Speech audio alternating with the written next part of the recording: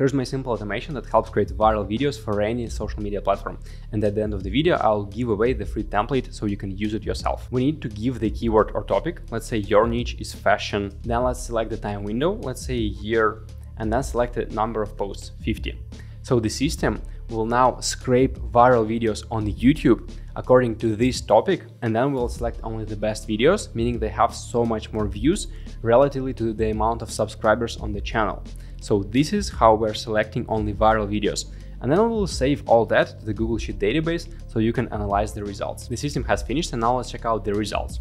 So we have this Google Sheet database, every single row is a video and we have the score, meaning how viral it is. 50 means it is super viral, everything bigger than 5 is already super viral video, so we have the title of the video, fashion trends that will dominate, then we have the thumbnail, as you can see it's very clear and descriptive, top 5 fashion trends, that will dominate in 2025 and then we have views and subscribers. So this video has 140k views and only 5k subscribers on the channel, which means that this one is super viral and we can definitely learn something about its packaging, about the concept, about the scripting, whatever, and we can use it in our content as well.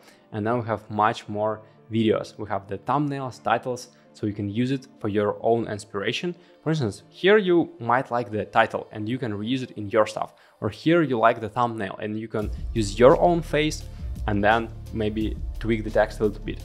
But this system really helps you be very systematic with the results on social media. And I use this system for my own channel as well. And this video that I produced, you can see it got to 30k views and it brought 1.5k subscribers purely by analyzing viral concept that I just remade. I found a similar video with this type of packaging, but it was made in Spanish and I made it in English and then you can see grew my channel a lot. I'm not a big channel. I have a channel roughly slightly more than 10k subscribers. So bringing 1.5k subscribers from one video is super crucial for me. And if you want to use this workflow, check out the link in description down below.